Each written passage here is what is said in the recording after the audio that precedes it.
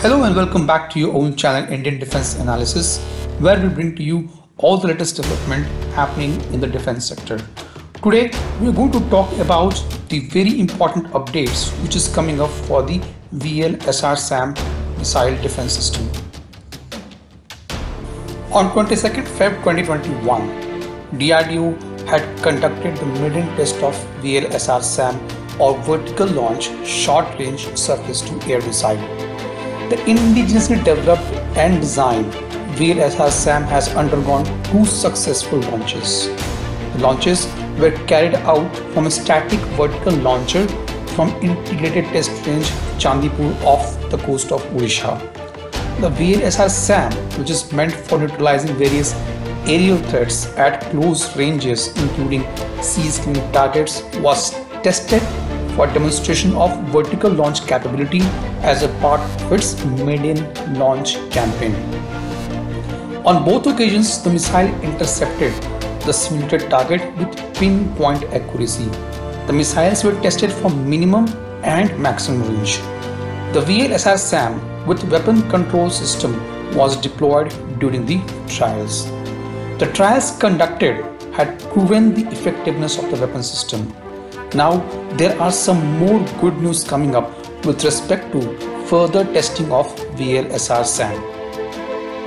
The DRDO is planning to conduct few more trials later this year, shortly before the deployment on Indian naval ships.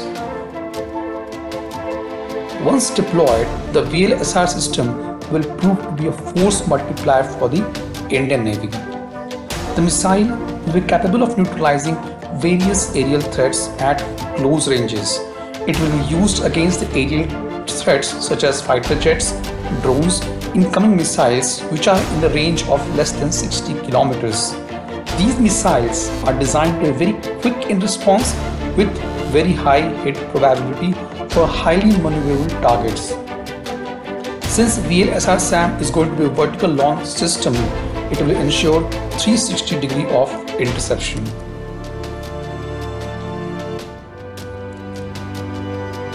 The next generation all-weather air defense missile system can provide point and area defense against various aerial targets like fighter jets, fighter aircrafts, unmanned aerial vehicles. If you closely look at the VLSR SAM missiles, they are based on Astra missile, which is also an indigenously developed air-to-air missile. However, there is a small noticeable difference between them. The VLSR has a thrust vectoring which provides it an additional maneuverability and this is missing in Astra missile.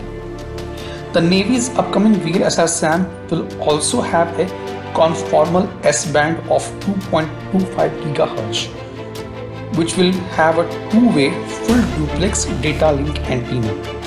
Now the data link will be used to simultaneously receive mid-course updates on the target's position and send missiles telemetry data to the ships. Now having a data link capability will further make missiles more accurate and more deadly. With an active high-end radio frequency seeker for targets with low radar cross sections and high maneuverability, now this missile will add more teeth to the armed forces and a formidable threat for incoming aerial targets. The VLSR SAM will be a truck-mounted mobile canister variant for Indian Air Force which will be used as a short-range air defense against aerial threat with a strike range of approximately 40 kilometers. The VLSR SAM will be a vertical launch unit for Indian Navy. This SAM system will be integrated with smaller surface vessels of Indian Navy and will replace Barak 1 legacy SAM system.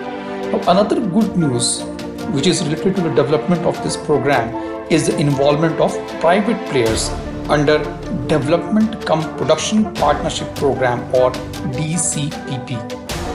One of the first missile program opened for private sector under the DCPP project includes the Vertical Launch Short Range Surface to Air Missile System or VLSR SAM. This was today's update. Please let us know what is your views about these in comment section. Feel free to post your comments and suggestions about any topic related to defense sector on which you want to hear from us. With this, I would like to say goodbye and Jai Hind friends. Please like and subscribe our video if you have not done already. We'll be soon back with more interesting and amazing development happening in defense sector.